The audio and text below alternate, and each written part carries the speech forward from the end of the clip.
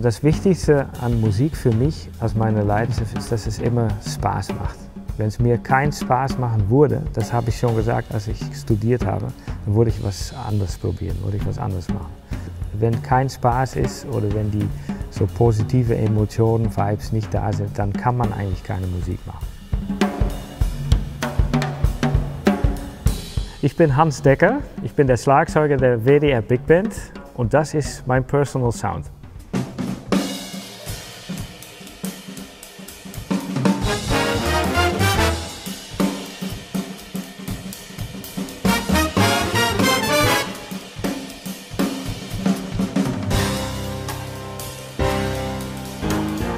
Mein Tagesablauf als WDR Big Band Schlagzeug. Ich bin eigentlich ein schlechtes Beispiel, weil jetzt wurde man natürlich erwarten, ja, der steht um sechs auf und macht Push-Ups und dann spielt er eine Stunde lang Practice Pad und dann geht er ins Studio. So ist das nicht.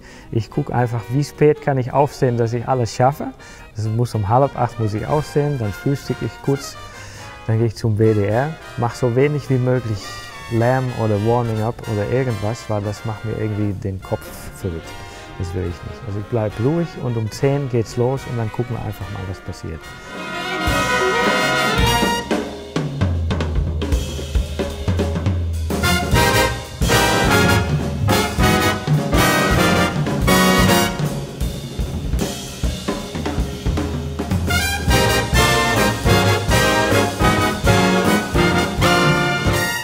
Ich habe als Kind, kleines Kind, habe ich immer das Schlagzeug gesehen von meinem Vater. Und da war ich völlig begeistert. Das stand immer in der Garage eingepackt und ich wollte das immer unbedingt auspacken.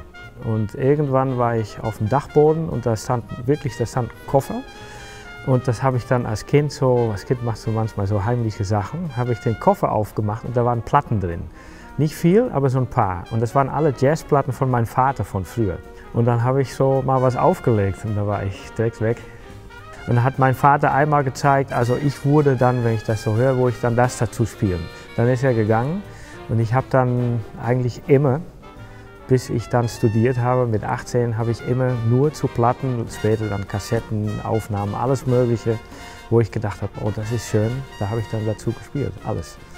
Ich habe immer natürlich Platten geholt als Kind, weil wir nicht so viele hatten. Das war nur ein kleiner Koffer und war dann fast jede Woche in der Bibliothek habe dann mit sechs Gulden konnte ich sechs Platten ausleihen und habe dann zu Hause erstmal die Platte gehört und gedacht, so, da steht ein Schlagzeug drauf oder was weiß ich. Ich kannte natürlich schon ein paar Namen. Ich bin aufgewachsen eigentlich mit Art Blakey. Das war mein erstes Jazzkonzert. Mit neun hat mein Vater mich mitgenommen. Also Blakey kannte ich dann. Und so bin ich dann, so links und rechts habe ich dann Buddy Rich zum Beispiel entdeckt und Louis Belson und Butch Miles. Und dann kamen die Big Bands, Basie. Und ja, so kam ein nach dem anderen und so bin ich dann langsam auch zu Big Band Faszination gekommen. Vor allem dann erstmal durch Buddy Rich. Ab neun bis so ungefähr 18 war ich dann immer zu Hause und habe selbst gelernt. Ich bin also bis dahin voll Autodidakt.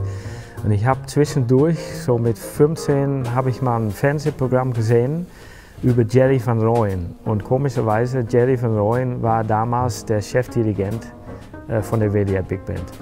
Und äh, der war auch Lehrer in Hilversum an der äh, Musikpädagogische Akademie hieß das dann und die hatten eine Jazzabteilung.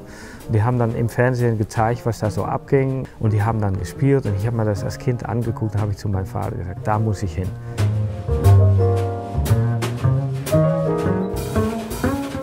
Also mein Hauptding ist WDR Big Band. Das will ich auch gerne machen. Also ich bin auch nicht für mich so auf der Suche nach das perfekte Hans Decke Quartett oder Trio. Ich, ich, ich stelle mich selber auch ungern so im Vordergrund. Ich sitze gerne hinten. Deswegen Sideman ist für mich perfekt. Ich gucke einfach, wenn das Telefon klingelt, wer ist das? Was macht er? Ist das interessant? Kann ich das machen zeitmäßig? Und wenn das alles stimmt, dann mache ich das mit.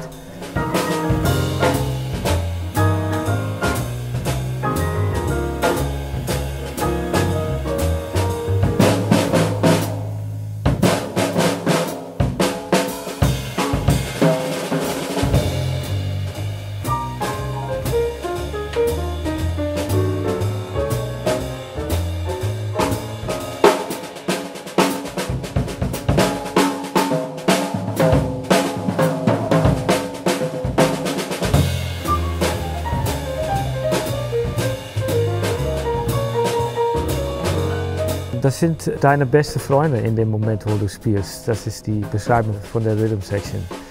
Also ich habe mich gleich mit allen super gut verstanden. Damals war das noch mit Frank und auch mit Billy. Das war so, wir haben den kennengelernt und gleich nach eigentlich eine, einem Tag haben John und ich schon gesagt, ich glaube, das ist, das ist unser Zug. Mit John, da muss ich gar nicht darüber reden. Das ist jemand, der immer bei dir ist, der immer mit, mit dir ist, der mitdenkt, mitfühlt und das passt einfach. Also was ich nicht gerne mag, ist, dass Leute sagen, oh, da hat der Hans im Takt 234, hat er einen Phil gespielt, boah, das war ja unglaublich, das brauche ich nicht. Aber wenn ich Leute in der ersten Reihe sehe und die Füße gehen hin und her, das, dann bin ich glücklich.